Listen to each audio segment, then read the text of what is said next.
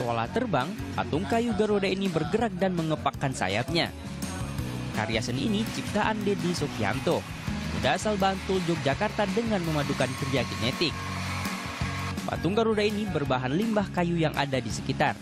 Sementara sistem penggeraknya menggunakan motor listrik dan sensor. Untuk membuat satu patung, mahasiswa S2 ISI Yogyakarta ini menghabiskan waktu sedikitnya satu bulan. Dibutuhkan keuletan dan ketelitian ekstra, karena pembuatannya dilakukan secara manual sepenuhnya. Selain itu, dengan sistem knockdown membuat Garuda Kinetik ini mudah dibongkar pasang. Ide ini berawal akan keprihatinannya pada generasi penerus yang tak lagi peduli dengan filosofi Garuda, terutama sila di dalamnya. Dengan desain Garuda yang tak biasa, para generasi muda diharapkan mau mempelajari makna simbol negara Indonesia ini.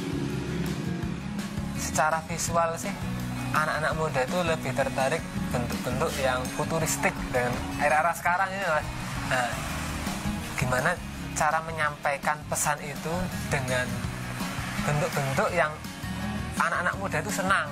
Nah, makanya tak bentuk seperti itu kayak bentuk-bentuk futuristik kayak hampir kayak robot tapi bukan robot.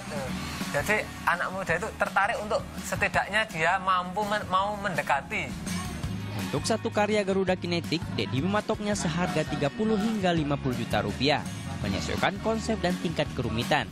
Sejak dua tahun lalu, ia telah menciptakan sedikitnya 20 karya seni genetik beragam bentuk. Selamat Lestioro melaporkan untuk NET.